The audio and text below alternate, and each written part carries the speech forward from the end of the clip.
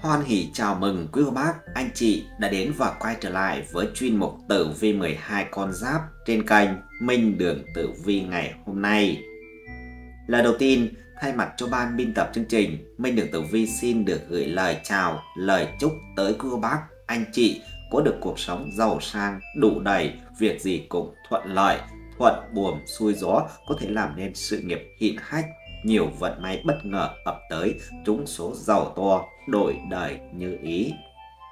Và nếu như quý cô bác, anh chị là lần đầu tiên đến với kênh Minh Đường Tử Vi thì hãy hoan hỷ đăng ký kênh, ấn chuông ở phía bên dưới để được đón xem những video mới nhất mà 30 tập trình Minh Đường Tử Vi đăng tải cũng như là thấy nội dung video hay, hữu ích thì hãy like, chia sẻ video cho mọi người cùng xem. Quý cô bác, anh chị cũng đừng quên để lại ý kiến đóng góp ở phía bên dưới phần bình luận. Kênh Minh Đường Tử Vi chân thành cảm ơn quý cô bác, anh chị. Và trong nội dung video ngày hôm nay mà 30 tấm chỉnh gửi tới quý cô bác, anh chị đó chính là nội dung như sau.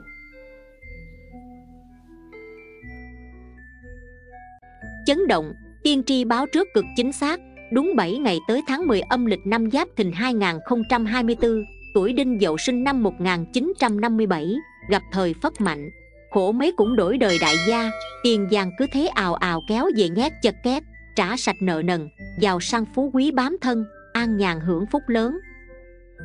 Đôi vai gồng gánh đất trời, tiền tài sự nghiệp một đời gian danh, thất bại có cũng qua nhanh, cửu thiên ban phước an lành ấm no. Lộc trời của quý nhân cho, đinh dậu năm liệu bảy lo mới hào, dù cho lội suối dược đèo, chính phần dưỡng phát đi theo suốt đời. Kênh Minh Đường Tử Di xin kính chào quý khán giả đã đến và quay trở lại trong chương trình ngày hôm nay, thay mặt cho ban biên tập chương trình. Kính chúc quý khán giả luôn khỏe mạnh, hạnh phúc và trải nghiệm được nhiều điều bổ ích để cuộc sống gia đình luôn an lành và thịnh vượng Kính thưa quý khán giả và đặc biệt là quý bản mệnh tuổi Đinh Dậu sinh 1957 thân mến, vốn dĩ đời người là không như nguyện, Chúng ta đều biết, không ai giàu ba họ chẳng ai khó ba đời. Thế nhưng thực tế lại thật phủ phàng. Đa phần chúng ta chẳng những làm mãi ba đời không giàu mà còn nợ ngập đầu ngập cổ. Ba đời không trả hết. Làm lụng ngày đêm, dầm mưa giải nắng mà vẫn sống trong cảnh nghèo khổ. Túng thiếu, chẳng biết ngày nào mới ngóc đầu lên được. Khổ sở trăm đường. Tử di học có nói, trời sinh mỗi người mỗi số mệnh, không phải ai sinh ra cũng giàu có và viên mãn. Những thành công mà bạn muốn có được thì phải phấn đấu không ngừng nghỉ thậm chí sẽ phải đánh đổi bằng rất nhiều thứ. Mới đây nhất khi xem tử vi cho 12 con giáp, thầy tử vi có chỉ rõ trong năm 2024 này, con giáp tuổi đinh dậu sinh 1957 vận trình sẽ có rất nhiều biến động lớn, xoay chuyển theo chiều hướng tích cực, nhiều phúc ít họa, may mắn và phúc lộc đầy nhà. Cuộc sống của họ trong khoảng thời gian trước có thể sẽ khó khăn, vất vả, đặc biệt là năm 2024 với tình hình biến động kinh tế chung của thế giới. Tuy nhiên, con giáp tuổi đinh dậu sinh 1957, đúng trong 7 ngày tới đây sẽ có vận trình khởi sắc trông thấy, đặc biệt là trong khoảng thời gian này, bản mệnh hãy chủ động nắm bắt những cơ hội đến với mình để trở nên giàu có, quý cô bác nhé. Nếu như quý cô bác tuổi đinh dậu không để ý mà bỏ lỡ những cơ hội trời ban này, thì quả thật là rất đáng tiếc cho con giáp này. Vậy, Chi tiết dẫn trình công danh sự người tuổi đinh dậu đúng trong 7 ngày tới sẽ ra sao? Con giáp này sẽ gặp được những may mắn nào trên con đường công danh? Sự nghiệp và làm cách nào để trong thời điểm này người tuổi đinh dậu có thể đón lành tránh dữ, gặp nhiều may mắn, bình an, sung túc và giàu có ngút trời? Tất cả những câu hỏi đó sẽ được kênh Minh Đường Tử Vi giải đáp chi tiết trong video ngày hôm nay. Xin mời quý khán giả cùng theo dõi chi tiết. Tuổi Đinh Dậu sinh 1957, hay còn gọi là độc lập chi kê tức là gà độc thân ngũ hành sơn hạ quả mệnh quả tức lửa dưới núi.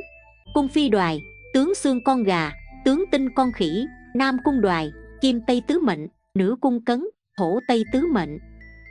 Người tuổi đinh dậu sinh 1957 mang đầy đủ tính cách của thiên can đinh. Người thiên can đinh là âm quả Tính chất của họ đều là những người có tính cách ngoài lạnh, trong nóng, nhu trung, hữu cương. Khi nhìn bề ngoài, mọi người thường đánh giá họ có tính cách trầm tĩnh, mềm dẻo, nhưng bên trong người họ lại có một mặt tính cách sôi nổi và cứng rắn. Trái ngược với những gì họ thể hiện ra bên ngoài, đặc biệt, họ tế nhị nhưng hay đa nghi và lặng lẽ quan sát mọi người. Trong đầu họ có nhiều tâm tư, tính toán và hay suy tính lung tung. Đinh dậu tinh tế một cách tự nhiên và hết sức cuốn hút trong phong cách. Họ chú ý tới hình thức của mình nhiều hơn tất cả các tuổi dậu còn lại họ có vẻ ngoài là tài sản quý và dành nhiều thời gian để chăm chút cho nó, đinh dậu tự hào về cách ăn mặc có phần bóng bẩy và đặc biệt, chú ý giữ gìn hình ảnh của mình trong mắt công chúng. Sự tinh thông cũng như thái độ tự tin của đinh dậu là vấn đề không thể bàn cãi, tuy nhiên, họ tự tin quá mức, đôi khi, sự độc đoán và thiếu tế nhị của tuổi đinh dậu có thể gây tổn thương cho bạn bè và đồng nghiệp. Do ý thức rất rõ về tài năng và trí thông minh của mình, họ đương nhiên cho rằng cách nhìn của mình luôn là tốt nhất và tất cả mọi người nên theo hương họ. Đinh dậu nói chung là có tư duy, sự trung thực và năng lực làm việc hết mình là những điều quan trọng hơn cả, họ thường không bằng lòng với những người không có đủ các phẩm chất nói trên. Tuy nhiên, với đinh dậu thì mọi chuyện lại hơi khác, nhờ khả năng nhìn nhận sự việc từ nhiều góc cạnh khác nhau, có thể bỏ qua sự khác biệt nhỏ trong khả năng của mỗi người. Trong khi vẫn giữ được mục tiêu cao cho riêng mình phẩm chất này cộng với sức sáng tạo, tài năng và lòng can đảm, giúp đinh dậu trở thành những nhà lãnh đạo xuất sắc. Họ tạo niềm cảm hứng cho những người khác thông qua tính tổ chức và đạo đức trong công việc. Bằng đôi mắt tinh anh, họ biết cách phát hiện những yếu tố, giúp kéo mọi người lại gần nhau hơn. Đinh dậu có đặc trưng trong tính cách là nhiệt tình, linh hoạt, sáng suốt, tháo giác nhưng sốc nổi và khó kiềm chế cảm xúc, nhanh nổi nóng, không giỏi che giấu nội tâm, thẳng thắn, bộc trực đinh dậu có khả năng truyền cảm hứng và kỹ năng lãnh đạo khá tốt. Nhờ khả năng nhìn nhận sự việc từ nhiều góc cạnh khác nhau, đinh dậu có thể bỏ qua sự khác biệt nhỏ trong khả năng của mỗi người. Trong khi vẫn giữ mục tiêu cao cho riêng mình, phẩm chất này cộng với sức sáng tạo, tài năng và lòng can đảm, giúp đinh dậu trở thành những nhà lãnh đạo xuất sắc. Họ tạo niềm cảm hứng cho những người khác thông qua tính tổ chức và đạo đức trong công việc, bằng đôi mắt tinh anh họ biết cách phát hiện những yếu tố giúp kéo mọi người lại gần nhau hơn. Đinh dậu là người sắc sảo, hóm hỉnh, tài năng và quyết đoán. Họ thích phiêu lưu và không ngừng tìm kiếm những miền đất mới để thám hiểm và thử thách chính mình. Thường thì họ sẽ thành công nhờ trí thông minh và sự hợp lý. Người tuổi đinh dậu ít khó tính hơn, họ sẽ không cân nhắc quá kỹ các chi tiết mà tập trung vào toàn cảnh. Tất cả trong công việc lẫn trong quan hệ, điều này giúp họ ít bỏ lỡ các cơ hội quan trọng trong cuộc đời hơn đa số đinh dậu gặt hái được nhiều thành công nhờ sự thông minh của mình. Tính cách kín đáo và sự kỳ vọng quá cao ở những người khác khiến đinh dậu không thích giao du với quá nhiều loại người. Hành quả mang lại tính chủ động và sự nhiệt tình, giúp đinh dậu cởi mở hơn, giao tiếp rộng rãi hơn, họ có thể hòa đồng với nhiều loại người hơn so với các tuổi dậu còn lại. Tuy tuổi dậu mang trong mình tính cách kín đáo, không thích giao du với nhiều loại người nhưng mà hành quả lại mang tới cho họ sự nhiệt tình và chủ động, giúp cho đinh dậu có thể cởi mở hơn. Bên cạnh đó, hành quả cũng ảnh hưởng không nhỏ tới tác phong của đinh dậu. Cụ thể là họ khá chú ý tới phong cách của mình và coi vẻ ngoài là tài sản quý giá cần phải chăm chút thường xuyên. Đinh dậu thuộc mẫu người rất tự tin, họ thường không chủ động trong đời sống tình cảm mà luôn chờ người khác theo đuổi, nhìn bề ngoài.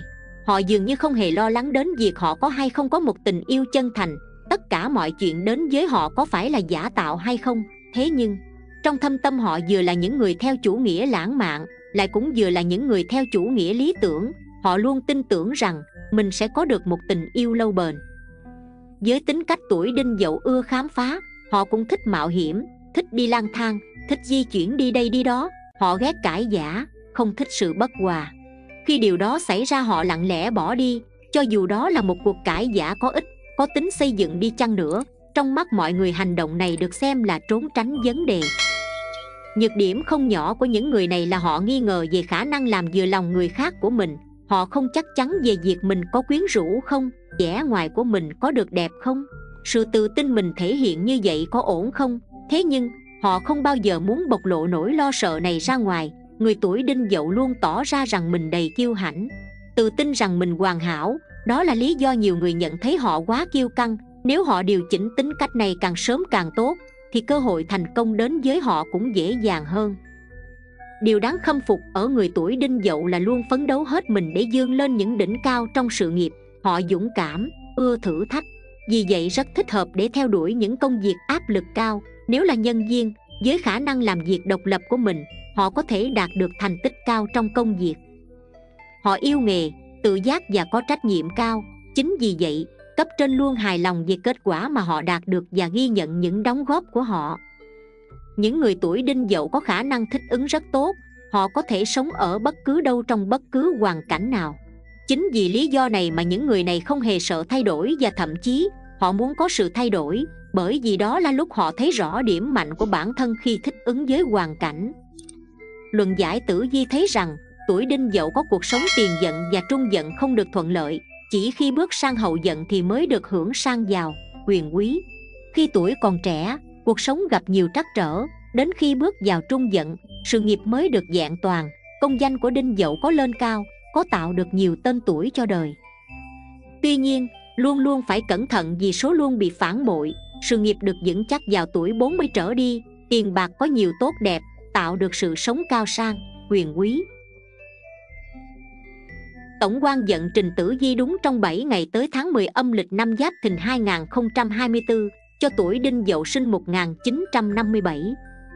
Đúng trong 7 ngày tới đến mang theo nhiều biến chuyển đáng chú ý cho cô bác tuổi Đinh Dậu sinh 1957. Ở độ tuổi này, dù đã trải qua nhiều thăng trầm trong cuộc sống, nhưng đúng trong 7 ngày tới sẽ mở ra những cơ hội lẫn thách thức đáng suy ngẫm. Dưới đây là những phương diện chính về công danh, sự nghiệp, tài lộc, gia đạo và sức khỏe dành cho cô bác trong thời điểm này. Xét về phương diện công danh, sự nghiệp. Đối với những cô bác đang nghỉ hưu trong thời điểm này, thời gian rảnh rỗi có thể giúp cô bác dành nhiều sự tập trung cho việc chăm sóc sức khỏe bản thân và gia đình. Tuy nhiên, vẫn cần lưu ý không để tâm trạng quá bận tâm về những điều đã trải qua, tránh lo âu, ảnh hưởng đến sức khỏe. Nếu có điều kiện, cô bác có thể tham gia vào các hoạt động xã hội công tác từ thiện để cảm thấy cuộc sống ý nghĩa hơn và tinh thần phấn chấn hơn. Đối với những cô bác còn tiếp tục làm việc thì thời điểm này, công việc có thể gặp một vài khó khăn nhưng cũng đồng thời xuất hiện những cơ hội đáng kể. Cô bác vẫn cần kiên nhẫn lắng nghe và xử lý mọi việc một cách chậm rãi, tránh quyết định dội vàng đồng nghiệp và cấp trên cũng sẽ hỗ trợ rất tốt cho cô bác trong công việc. Nếu có khó khăn, hãy mạnh dạn chia sẻ. Mọi thứ sẽ được giải quyết ổn thỏa. Ngoài ra tránh lo lắng quá mức về những vấn đề cũ, thay vào đó, nên tập trung vào những nhiệm vụ hiện tại. Xét về phương diện tài lộc đúng trong 7 ngày tới tháng 10 âm lịch 2024 Tài lộc của cô bác tuổi đinh dậu được dự báo có nhiều khởi sắc. Đối với những cô bác đang đầu tư kinh doanh, Thì đây sẽ là khoảng thời gian thuận lợi để sinh lời. Các cơ hội đầu tư làm ăn dường như đến liên tục. Nếu biết tận dụng đúng lúc, Tài lộc sẽ không ngừng gia tăng tuy nhiên, vẫn cần cảnh giác, không nên quá mạo hiểm, tránh đầu tư vào những dự án không rõ ràng. Đối với những cô bác đã nghỉ hưu, tài lộc chủ yếu đến từ nguồn thu nhập ổn định và sự giúp đỡ từ con cháu, trong thời điểm này, cô bác có thể nhận được sự hỗ trợ về tài chính từ gia đình, con cái. Tuy nhiên, không nên tiêu xài quá mức, nên tích lũy một phần để phòng tránh những sự việc bất ngờ. Xét về phương diện tình cảm, gia đạo đúng trong 7 ngày tới tháng 10 âm lịch 2024. Gia đạo trong thời điểm này hứa hẹn nhiều niềm vui và sự bình yên cho cô bác, con cháu trưởng thành và thành đạt, mang đến niềm tự hào và hạnh phúc cho gia đình. Tuy nhiên, cũng sẽ không tránh khỏi một vài bất đồng nhỏ trong gia đình, đặc biệt liên quan đến các vấn đề chăm sóc sức khỏe hoặc cách dạy dỗ cháu chắc. Cô bác nên giữ sự bao dung và lắng nghe để tránh mâu thuẫn không đáng có. Ngoài ra, đây cũng là tháng mà tình cảm gia đình cần được dương dáng. Hơn nữa, cô bác nên dành thời gian bên gia đình và con cháu để cùng chia sẻ những kỷ niệm cũ và hướng dẫn thế hệ sau những bài học quý giá từ cuộc sống, các hoạt động gia đình như đi du lịch ngắn ngày. Họp mặt cũng là cách để thắt chặt tình cảm. Điều này sẽ mang lại không khí vui vẻ và ấm áp trong gia đình. Xét về phương diện sức khỏe Sức khỏe của cô bác tuổi đinh dậu sinh 1957 đúng trong 7 ngày tới này cần được chú trọng. Thời tiết thay đổi có thể ảnh hưởng đến xương khớp và huyết áp. Đặc biệt là đối với những cô bác có tiền sử bệnh mãn tính Cần giữ chế độ ăn uống lành mạnh, nghỉ ngơi đúng giờ và tránh căng thẳng. Thời điểm này, cô bác cũng nên tập trung vào việc rèn luyện thể chất nhẹ nhàng như đi bộ, tập dưỡng sinh hoặc yoga để duy trì sức khỏe ổn định Đồng thời, nên kiểm tra sức khỏe định kỳ để phát hiện kịp thời các vấn đề. Nếu có cô bác càng chú trọng việc chăm sóc bản thân thì càng giúp cô bác cảm thấy tinh thần minh mẫn và lạc quan hơn. Đúng trong 7 ngày tới của cô bác tuổi Đinh Dậu sinh 1957 mang đến nhiều niềm vui và cơ hội. Dù có thể gặp một vài khó khăn nhỏ Nhưng sự kiên nhẫn và bình tĩnh sẽ giúp cô bác vượt qua. Đây cũng là thời điểm để tận hưởng những thành quả mà bản thân cô bác đã gặt hái. Đồng thời, dung đắp tình cảm gia đình thêm bền chặt Quý cô bác tuổi Đinh Dậu sinh 1957 thân mến để giúp cô bác nắm rõ hơn về vận trình tử vi chi tiết đúng trong 7 ngày tới 2024 của tuổi Đinh Dậu sinh 1957. Chúng ta sẽ cùng tìm hiểu xem những ngày nào là các lợi, mang lại may mắn và ngày nào cần tránh để mọi việc được thuận buồm xuôi gió hơn nhé. Chi tiết cụ thể như sau. Đầu tiên là tử vi từ ngày mùng 9 đến ngày 12 tháng 10 âm lịch của tuổi Đinh Dậu sinh 1957 Ngày này tốt cho công việc khởi sự sự nghiệp. Thời điểm này là những ngày các lợi đầu tháng, Rất thích hợp cho những cô bác còn đang làm việc hoặc có dự định quan trọng liên quan đến kinh doanh và đầu tư. Với những người tuổi đinh dậu vẫn còn tham gia vào các dự án hay công việc, Đây là thời điểm mà tinh thần sáng suốt, Khả năng phân tích nhạy bén, Giúp cô bác đưa ra những quyết định sáng suốt. Nếu có kế hoạch ký kết hợp đồng hay hợp tác với đối tác mới, Hãy lựa chọn ngày này để tiến hành, vì vận khí tốt sẽ mang lại nhiều thuận lợi và thành công. Đối với những cô bác đã nghỉ hưu, thì ngày mùng 2 cũng mang lại nguồn năng lượng tích cực, khuyến khích cô bác tham gia vào các hoạt động xã hội, cộng đồng hoặc công tác từ thiện. Đây không chỉ là cách giúp bản thân cảm thấy có ích, mà còn tạo dựng được những mối quan hệ mới, củng cố tinh thần lạc quan và vui vẻ tài lộc trong những ngày này được dự báo sẽ có những tiến triển tích cực đối với những người đang đầu tư, kinh doanh. Việc thu về lợi nhuận là rất khả quan. Cô bác có thể cân nhắc mở rộng kinh doanh và đầu tư thêm hoặc thử sức trong các lĩnh vực mới. Tuy nhiên, dù ngày này là ngày cát lợi nhưng cô bác vẫn nên cẩn trọng, tránh quá tham vọng mà đầu tư vào những lĩnh vực không nắm chắc. Đối với những cô bác đã nghỉ hưu, tài chính đến từ các khoản hỗ trợ của gia đình và con cháu cũng ổn định tuy không có biến động lớn nhưng ngày này có thể nhận được những tin vui bất ngờ về tiền bạc từ các khoản tích lũy hoặc con cháu biếu tặng. Gia đạo trong những ngày này, đây là thời điểm tốt để cô bác dành thời gian bên gia đình, hâm nóng tình cảm với con cháu. Những buổi sum họp gia đình vào ngày này sẽ diễn ra trong không khí đầm ấm và hạnh phúc. Cô bác nên tổ chức các hoạt động gia đình như bữa cơm chung hay chia sẻ những câu chuyện cũ để kết nối tình cảm thêm bền chặt. Nếu có những khúc mắc trước đó trong gia đình đây cũng là thời điểm lý tưởng để hóa giải, giúp không khí trở nên hòa thuận, êm ấm hơn. Sức khỏe. Sức khỏe trong ngày này được đánh giá khá tốt. Tuy nhiên, cô bác vẫn cần chú ý chăm sóc bản thân, đặc biệt là những vấn đề liên quan đến xương khớp do thời tiết chuyển mùa. Một chút vận động nhẹ nhàng như đi bộ dưỡng sinh sẽ rất tốt cho sức khỏe. Đừng quên duy trì chế độ ăn uống lành mạnh và tránh căng thẳng. Tiếp theo là tử vi từ ngày 13 đến ngày 15 rằm tháng 10 âm lịch của tuổi Đinh Dậu sinh 1957 thời điểm này rất dượng tài lộc, may mắn trong gia đình và sự nghiệp, với những ai vẫn còn tham gia công việc. Ngày 12 tháng 10 âm lịch là một ngày lý tưởng để thúc đẩy các dự án gian dở. Công việc diễn ra suôn sẻ, các trở ngại trước đây sẽ dần được tháo gỡ nhờ sự giúp đỡ từ đồng nghiệp hoặc những người có uy tín trong lĩnh vực làm việc của cô bác đây cũng là thời điểm thích hợp để khởi động các ý tưởng mới hoặc thử nghiệm các hướng đi mới mà trước đó còn do dự. Tài lộc trong thời điểm này được coi là những ngày may mắn về tài lộc. Những cô bác đang kinh doanh có thể thấy tài chính tăng trưởng Các khoản đầu tư mang lại lợi nhuận khả quan. Đặc biệt, nếu cô bác có kế hoạch mua sắm hoặc chi tiêu cho những món đồ lớn Đây là thời điểm tốt để thực hiện mà không lo gặp rủi ro tài chính. Đối với những người đang nghỉ hưu Cô bác có thể nhận được sự giúp đỡ về tài chính từ con cháu hoặc có những khoản thu bất ngờ từ các nguồn tài chính cũ. Đây cũng là thời điểm cô bác nên suy nghĩ đến việc tích lũy tài chính cho các kế hoạch lâu dài hoặc đóng góp vào các quỹ từ thiện. Về gia đạo, đây là thời điểm mang lại sự vui vẻ và hạnh phúc trong gia đình. Đây là thời điểm thích hợp để gia đình sum họp. Cô bác có thể tổ chức những buổi gặp mặt nhỏ cùng con cháu, chia sẻ những kỷ niệm và câu chuyện gia đình thời gian này cũng là dịp tốt để hàn gắn những mâu thuẫn nhỏ trong gia đình, giúp tình cảm gia đình thêm bền chặt.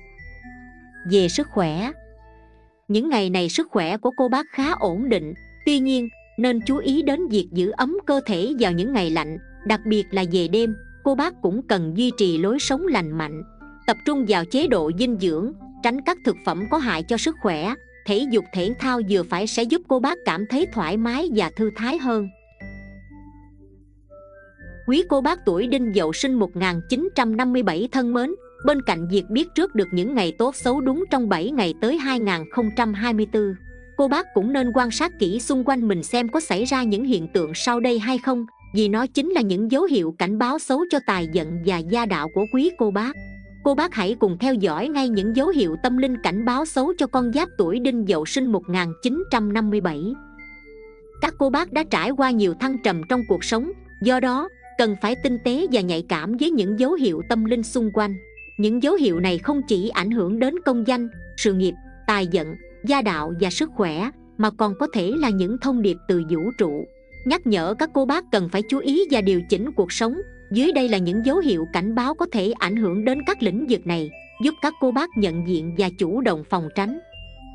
Về mặt sự nghiệp, những dấu hiệu cảnh báo khó khăn, nỗi lo thường trực nếu cảm thấy thường xuyên lo lắng hoặc bất an về công việc, đây có thể là dấu hiệu cho thấy có điều gì không ổn đang diễn ra. Những cô bác còn đi làm có thể cảm thấy mệt mỏi và áp lực hơn bao giờ hết. Cảm giác này không chỉ ảnh hưởng đến tinh thần mà còn đến hiệu suất làm việc. Hãy tự hỏi tại sao mình lại cảm thấy như vậy. Có thể bạn sẽ gặp khó khăn trong việc giao tiếp với đồng nghiệp hoặc cấp trên, dẫn đến những hiểu lầm không đáng có. Nỗi lo về công việc có thể làm bạn mất tự tin ảnh hưởng đến quyết định của bản thân. Những giấc mơ kỳ lạ. Các giấc mơ về việc thất bại, mất việc hoặc gặp phải những tình huống xấu trong công việc cũng có thể là dấu hiệu tâm linh cảnh báo. Nếu những giấc mơ này xuất hiện liên tục, hãy coi đó là lời nhắc nhở để cô bác tập trung hơn vào công việc và tìm kiếm sự hỗ trợ từ người khác. Những giấc mơ có thể là tiếng gọi từ nội tâm, nhắc nhở bạn về những lo lắng chưa được giải quyết trong công việc, những dấu hiệu bất ngờ trong công việc nếu đột nhiên nhận thấy nhiều sự cố trong công việc như hỏng hóc máy móc, nhầm lẫn trong dự án hoặc các cuộc họp bị hoãn lại liên tục, đây có thể là dấu hiệu cho thấy có điều gì đó không thuận lợi đang đến gần. Những sự cố nhỏ tưởng chừng không quan trọng lại có thể là dấu hiệu của sự bất ổn lớn hơn. Hãy cẩn trọng trong từng bước đi, đồng thời, chủ động giải quyết các vấn đề ngay khi chúng nảy sinh. Về mặt tài vận các dấu hiệu cảnh báo rủi ro tài chính, tiền bạc thất thoát nếu cảm thấy tiền bạc của mình tự dưng biến mất mà không rõ lý do hoặc thường xuyên gặp phải các vấn đề về tài chính, có thể đây là dấu hiệu cho thấy có một nguồn năng lượng xấu đang ảnh hưởng đến tài vận của bạn. Những người có thói quen xài phung phí hoặc không kiểm soát được tài chính sẽ gặp khó khăn trong việc quản lý chi tiêu. Cần tỉnh táo và xem xét lại những thói quen tài chính của bản thân, cũng như tránh xa những món đồ không cần thiết. Khó khăn trong việc tiết kiệm nếu cô bác cảm thấy rất khó khăn trong việc tích lũy tài sản hoặc các khoản đầu tư không đem lại lợi nhuận như mong đợi, đây có thể là dấu hiệu cho thấy cần xem xét lại các quyết định tài chính. Có thể có ai đó đang ảnh hưởng tiêu cực đến tài chính của bạn hoặc bạn cần phải điều chỉnh cách quản lý tài chính cá nhân. Tốt nhất, hãy tham khảo ý kiến của những người có kinh nghiệm trong lĩnh vực tài chính trước khi đưa ra các quyết định quan trọng. Cảm giác bất an về tài chính. Nếu cảm thấy thường xuyên lo lắng về tài chính đây có thể là một dấu hiệu cho thấy bạn đang ở trong một chu kỳ xấu. Cảm giác này có thể xuất phát từ việc không đủ tài chính để trang trải cuộc sống hàng ngày hoặc từ những gánh nặng mà bạn đang phải gánh vác đây là lúc cần kiểm soát cảm xúc và xem xét lại cách tiêu dùng của bản thân. Hãy lập kế hoạch chi tiêu hợp lý và tạo ra một quỹ dự phòng cho những tình huống khẩn cấp. Về mặt tình cảm, gia đạo. Những dấu hiệu cảnh báo xung đột trong gia đình, căng thẳng trong mối quan hệ nếu nhận thấy mối quan hệ với các thành viên trong gia đình trở nên căng thẳng hoặc thường xuyên ra tranh cãi, đây có thể là dấu hiệu cho thấy có điều gì không ổn đang ảnh hưởng đến sự hòa hợp trong gia đình. Những mâu thuẫn nhỏ có thể bùng phát thành những cuộc cãi giả lớn. Nếu không được giải quyết kịp thời, hãy cố gắng lắng nghe ý kiến của người khác và chia sẻ cảm xúc của mình một cách chân thành. Giấc mơ về người đã khuất. Những giấc mơ gặp lại người đã khuất có thể là dấu hiệu cảnh báo về mối quan hệ trong gia đình họ có thể đang muốn nhắn gửi một thông điệp nào đó về tình cảm gia đình, nhắc nhở về việc duy trì sự hòa thuận. Những giấc mơ này có thể xuất hiện vào những lúc bạn đang gặp khó khăn trong việc kết nối với các thành viên trong gia đình. Hãy dành thời gian để trò chuyện với họ và thể hiện sự quan tâm. Các sự cố xảy ra liên tiếp. Nếu liên tục gặp phải các sự cố nhỏ trong gia đình như hỏng hóc, thiết bị, thú cưng, đau ốm hoặc các tình huống không mong muốn có thể đây là dấu hiệu cho thấy cần phải chăm sóc và quan tâm đến gia đình hơn. Những vấn đề này không chỉ ảnh hưởng đến tâm lý mà còn có thể làm suy giảm tinh thần của các thành viên trong gia đình. Hãy tổ chức những buổi gặp gỡ, trò chuyện để hàn gắn và xây dựng sự kết nối trong gia đình. Về sức khỏe, những dấu hiệu cảnh báo tâm linh. Cảm giác mệt mỏi thường xuyên. Nếu bạn cảm thấy mệt mỏi không nguyên nhân đây có thể là dấu hiệu cho thấy cơ thể đang bị ảnh hưởng bởi năng lượng xấu. Việc này có thể xảy ra khi bạn chịu áp lực lớn từ công việc hoặc gia đình dẫn đến tình trạng kiệt sức. Bạn cần chú ý đến chế độ nghỉ ngơi, tránh để áp lực làm ảnh hưởng đến sức khỏe của bản thân. Dành thời gian cho những hoạt động thư giãn như thiền, yoga hay đi dạo để giải tỏa căng thẳng. Các triệu chứng kỳ lạ. Nếu đột nhiên gặp phải các triệu chứng như đau đầu chóng mặt hoặc các vấn đề tiêu hóa mà không rõ nguyên nhân, đây có thể là dấu hiệu cho thấy cơ thể đang phản ứng với các yếu tố bên ngoài. Nên đi khám sức khỏe định kỳ để phát hiện sớm các vấn đề. Nếu cần thiết, hãy tham khảo ý kiến từ các chuyên gia y tế. Đừng ngần ngại tìm kiếm sự giúp đỡ. Nếu cảm thấy sức khỏe không ổn định, sự mất cân bằng trong cảm xúc, nếu cảm thấy thường xuyên bất ổn về tâm lý, dễ nổi nóng hoặc thường xuyên lo âu, hãy chú ý đến các dấu hiệu này những cảm xúc tiêu cực này có thể ảnh hưởng đến chất lượng cuộc sống của bạn. Hãy thực hành các phương pháp thư giãn như nghe nhạc đọc sách hoặc tham gia các hoạt động nghệ thuật để cải thiện tâm trạng. Nếu cảm thấy cần thiết hãy tìm kiếm sự hỗ trợ từ các chuyên gia tâm lý để có hướng giải quyết hợp lý. Những dấu hiệu tâm linh cảnh báo trên đây là những yếu tố mà tuổi đinh dậu sinh 1957 cần lưu tâm. Bằng việc chú ý và lắng nghe những thông điệp từ vũ trụ, các cô bác có thể điều chỉnh cuộc sống, từ đó vượt qua những khó khăn và tìm lại sự bình yên trong tâm hồn. Hãy luôn tin tưởng vào trực giác của mình và tìm kiếm những cách tích cực để vượt qua thử thách. Mọi khó khăn đều có thể vượt qua nếu chúng ta biết lắng nghe bản thân và điều chỉnh cuộc sống một cách khéo léo. Thưa quý khán giả, Phật nói về lý do tại sao bạn lại không có tiền Có nói mỗi người đều có số tiền xứng đáng với bản thân có cố mấy cũng bằng thừa và những điều này được quyết định bởi những nhân đã gieo trồng ở kiếp trước. Vì vậy, nếu có đủ phước thì dù không tranh giành thì cũng không thiếu tiền. Nếu thiếu phước thì dù có bí mật tranh giành thì cũng không thể lấy được tiền. Tiền làm ra được là một chuyện nhưng tích lũy được nó để trở thành người giàu hay không là một chuyện khác. Không phải ai cũng đủ phước để giữ tiền ở lại và trở thành người giàu. Chúng ta cần thiết lập một quan niệm đúng đắn về tiền bạc. Đừng quá tham tiền chứ đừng nói đến chuyện mất đạo đức vì tiền so với tiền bạc và đạo đức thì đạo đức quan trọng hơn, vì đạo đức là nền tảng của tiền bạc và lòng dị tha, là nguồn phước. Nếu chúng ta có thể hiếu thảo với cha mẹ, rộng lượng với người khác, nghĩ đến người khác nhiều hơn trong mọi việc và coi lòng dị tha là nguyên tắc ứng xử với người khác, thì chắc chắn chúng ta sẽ nhận được phước báo to lớn và đạt được sự nghiệp vĩ đại. Vấn đề căn bản của đời sống là chúng ta phải tập cân đối thu chi giữa cái hiện tại ta đang có, cái mà chúng ta phấn đấu có cái hiện đang tiêu xài và tiềm năng tài chính của bản thân ở thời điểm hiện tại. Đức phật khuyên, phật tử tại gia sử dụng tiền một cách có ý thức và không bị u mê quá mức, ai cũng nên quan tâm đến kế sinh nhai bản thân.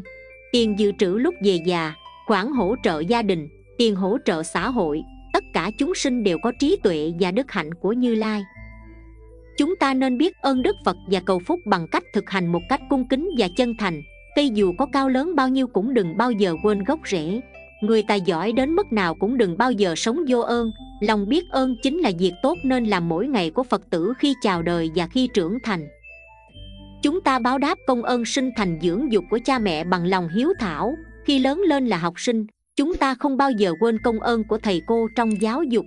Còn khi chúng ta lớn lên được nhiều người giúp đỡ, chúng ta không bao giờ được quên những người thân thiết, sự an ủi, tận tình của người khác khi chúng ta suy sụp, chúng ta không bao giờ quên lòng tốt từ bát cháo nóng của người đã cho chúng ta, lòng tốt giúp đỡ chúng ta lúc đói nghèo, khó khăn.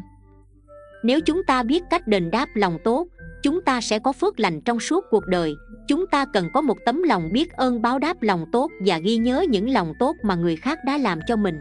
Với lòng biết ơn từ tận trái tim trái tim bạn sẽ có được sự bình yên và tĩnh lặng. Cuộc sống của bạn sẽ bớt đầy những oán giận và lo lắng chỉ khi một người có tấm lòng biết ơn thì người đó mới có thái độ tốt và khám phá được nhiều vẻ đẹp hơn. Là một con người, bạn có thể không có gì nhưng bạn không thể không có lòng biết ơn. Hãy cho cuộc sống một lý do để mỉm cười và đừng để trái tim mình mang quá nhiều gánh nặng. Hãy cho mình một cách ấm áp để lấp đầy khung cảnh cuộc sống. Chương trình đến đây xin được tạm dừng. Nếu thấy video này hữu ích, cô bác có thể dành chút thời gian ấn nút đăng ký kênh và chia sẻ video này tới những người thân yêu của mình để cùng nhau đón những điều may mắn đúng trong 7 ngày tới 2024 này nhé. Xin chào và hẹn gặp lại cô bác ở các video tiếp theo.